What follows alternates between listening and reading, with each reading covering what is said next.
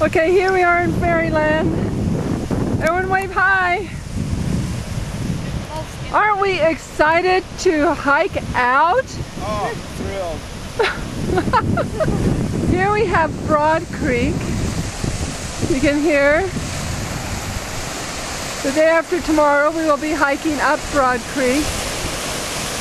Up there are the cliffs, the cliffs of insanity that we hiked down.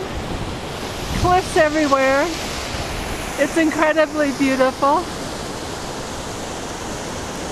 It's the confluence of two rivers, Broad Creek and Shallow Creek. Or I guess I should say two creeks. And then here we are in Fairyland.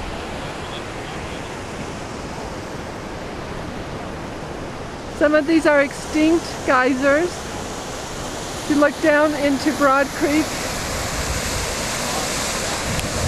you can see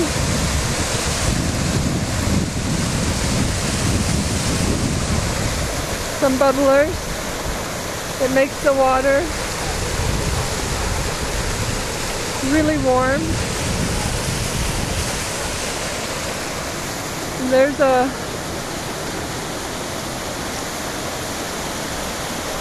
a hot pot that's filled into the river. Got some extinct geysers.